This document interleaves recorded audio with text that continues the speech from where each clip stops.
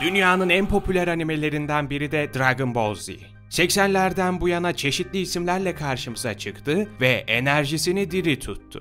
Bu videoda Dragon Ball Z eserinin derinliklerine iniyoruz. Çok bilinmeyen, sadece bu yapıma aşık olanların bildiğini tahmin ettiğimiz gerçekleri sıralayacağız. Hadi, ne duruyoruz öyleyse? 5. En uzun dövüş sahnesi.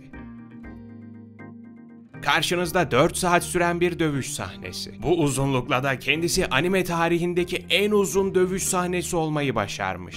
Süresiyle ilgileri kendine çeken bu dövüş sahnesi Goku ve Frieza karakteri arasında gerçekleşiyor. İzlerken çoğu işimizi görebileceğimiz gibi aynı zamanda bir başka anime bile izleyebiliriz bu süre zarfında.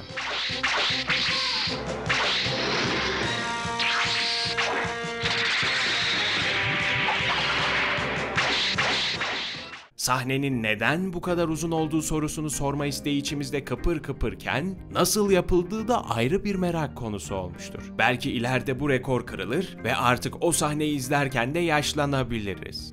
4. Kötü film, tembel yönetmen. 2009 yılında çıkmış bir hayal kırıklığı olan Dragon Ball Z filmi. E, tarih boyunca anime sinema uyarlamalarının güzel olduğu pek görülmemiştir. Ancak bu yapımların neden güzel olmadığı konusuna gelecek olursak, hemen hepsinin farklı nedenleri olabilir. Komik ve biraz da saygısızca bir nedene sahip bu Dragon Ball Z uyarlamasıysa bir o kadar da ilginçtir de. Burada ise devreye giren faktör yönetmenin ta kendisi. Öyle ki kendisi Dragon Ball Z animesinin hiçbir bölümünü izlememiş ve mangasını da okumamıştır. Garip tercihlere sahip bu yönetmen pek de doğru bir karar vermemiş gibi. Bu seçimiyle kendisi tembel bir görünüm kazanmış ve ortaya çıkardığı yapımda oldukça kötü olmuştur. 3. Anime nazisi Oldukça popüler bu anime bir Hitler referansına sahip. Öyle ki Hitler benzeri bir karakter gözüktüğü sert ve diktatör havasıyla dikkat çekiyor. Blonde hair, blue eyes, super strength. I should be recruiting. Süper Saiyan formlarına giren Goten ve Trunks karakterlerini gördükten sonra birden ortaya çıkan kişi de Hitler oluyor. Böylesine doğaüstü güç ve görünümlere sahip kişileri kendi yanına çekmek istemesi de pek beklenmedik değil. 2. 5 milyon yıllık gençlik İnanılması güç ama serideki Majin Buu karakteri aslında 5 milyon yaşındadır. E kendisinin bir bebek kadar parlak yüze sahip olması dışında pek de bir sorun yok. Ayrıca bu kadar yıl boyunca yaşamış birine göre oldukça da mutlu gözüküyor. Anlaşılan kendisini meditasyonda geliştirmiş. Bunların yanında kendisine 5 milyon yaşındaki çilekli puding de diyebiliriz. Bahsedilmesi gerekenler. Mangadaki büyük fark.